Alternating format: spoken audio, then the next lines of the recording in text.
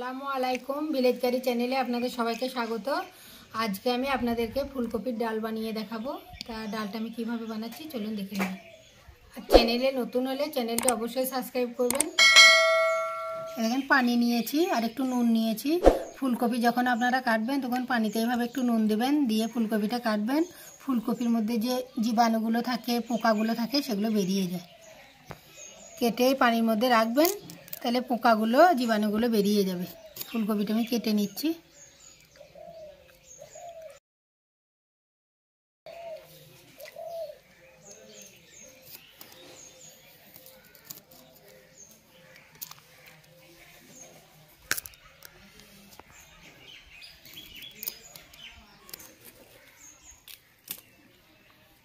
দেখেন, ডাল রান্নার জন্য, এখানে ফুলকপির ডাল রান্নার জন্য, এখানে আমি মসুরির ডাল নিয়েছি।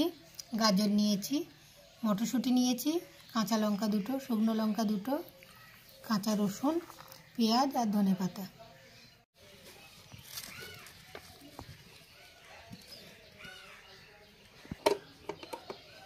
ডালটা সেদ্ধ করে নেব, সেই জন্য কড়াইটা চাপিয়ে দিলে আমরা পানি দিচ্ছি। পানিতে একটু সর্ষের তেল দিচ্ছি। পানিতে একটু সর্ষের তেল দিচ্ছি।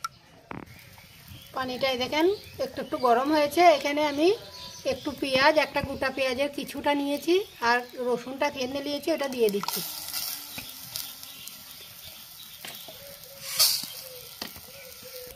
এবার ডালটাকে দিয়ে নিচ্ছি। মটরশুঁটি আর গাজরটা দিয়ে দিচ্ছি।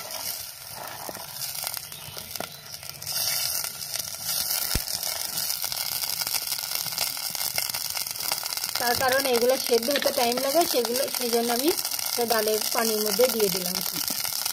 এটা ফুটে উঠুক, তারপর ডালটা দেবো। এখানে একটু হলুদের গুঁড়ো, একটু জিরে গুঁড়ো দিচ্ছি।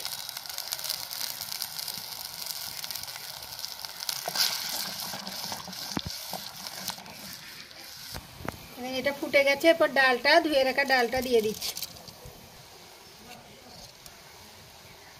ডাল সেদ্ধ করার সময় কখনোই নুন দেবেন না। তাহলে ডালটা ভালো সেদ্ধ হবে না, পাতা পাতা হয়ে থাকবে। ডাল যখন সেদ্ধ হয়ে যাবে সম্পূর্ণ, তখন নুন দেবেন।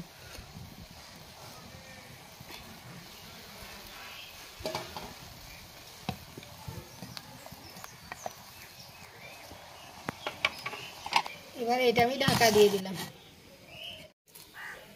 ডালটা দিয়ে ঢাকা দেওয়ার পরে খুলিনি, এখন একবার খুলে দেখব। এই দেখেন, অনেকটা পানিটা শুকনো শুকনো হয়ে গেছে। এই অবস্থা আমি আরেকবার এইভাবে নেড়ে দেবো। এই দেখেন, ডালটা অনেক সেদ্ধ হয়ে এসছে। এরপর আমি এখানে পানি দেবো। আমি দেখুনই ডাল সেদ্ধ করি, তখন কিন্তু গরম পানি দিই। গরম পানি দিয়ে দেখবেন, ডালটা খুব তাড়াতাড়ি সেদ্ধ হয়ে যায়।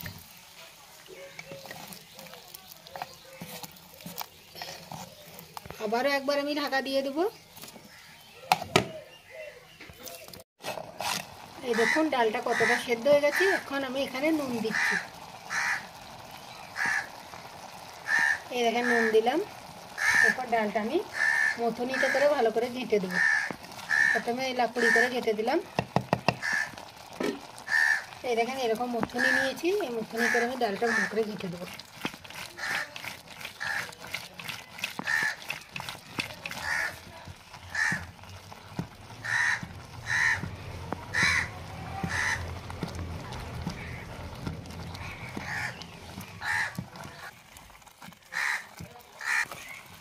এরপর পানি দিচ্ছে এখানে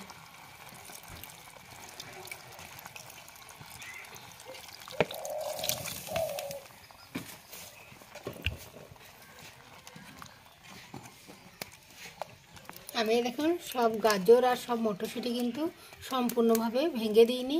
কিছু কিছু মটরশুঁটি, কিছু কিছু গাজর আমি এখানে গোটা গোটা রেখেছি, যাতে দেখতে ভালো লাগে সেই জন্য। ডালটা ফুটে গেছে, নামিয়ে নিচ্ছি। ফুলকপিগুলো ভেজে নেব, সেই জন্যে কড়াইটা চাপিয়ে দিলাম। আর এখানে আমি তেল দিয়ে দিচ্ছি।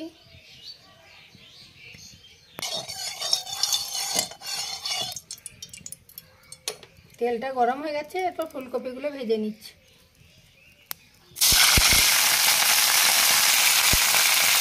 ফুলকপিটা একটু হলুদ দিলাম।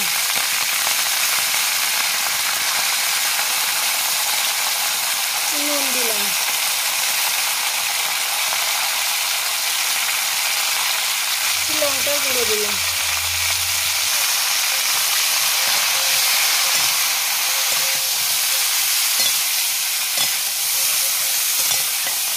ফুলকপিটা আমি ঢাকা দিয়ে দিলাম, এরপর চুলোর জালটা বন্ধ করে দেবো, এটা আঁচের মধ্যে হবে ভাজাটা।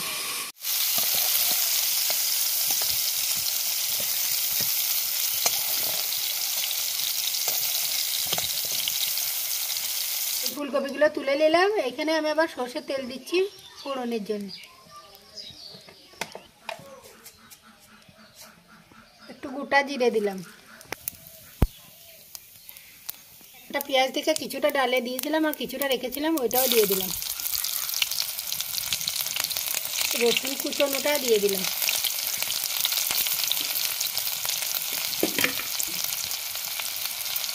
শুকনো লঙ্কা দুটোও দিয়ে দিলাম। কাঁচা লঙ্কা দুটোও দিলাম। একটু হিং দিলাম।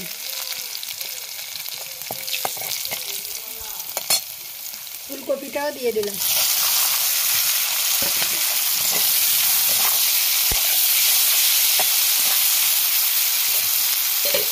ডালটা ঢেলে দিলাম।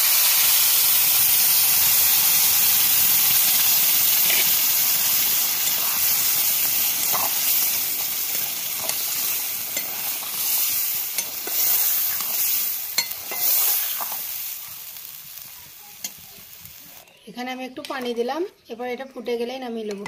এখানে ডালটা চড়বড় করে ফুটছে, এরপর আমি এখানে কুচনো ধনে পাতাটা দিয়ে দিচ্ছি ওপর থেকে।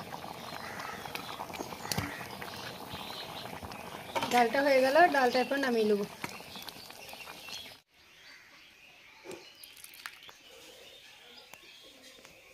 এই দেখেন, ফুলকপির ডাল রান্না আমার হয়ে গেল। আর ফুলকপির ডাল অনেক রকমভাবে রান্না করা যায়। আজকে আমি এরকম করে আপনাদেরকে দেখানো অন্য কোনো দিন, অন্য কোনো ভিডিওতে আবার অন্য রকম করে ডাল রান্না করে দেখিয়েবো ফুলকপির তা এইভাবে আপনারা ফুলকপির ডাল বাড়িতে রান্না করবেন, খাবেন আর আমাকে কমেন্টে জানাবেন কীরকম হয়েছে। শেষ পর্যন্ত দেখার জন্য অনেক অনেক ধন্যবাদ।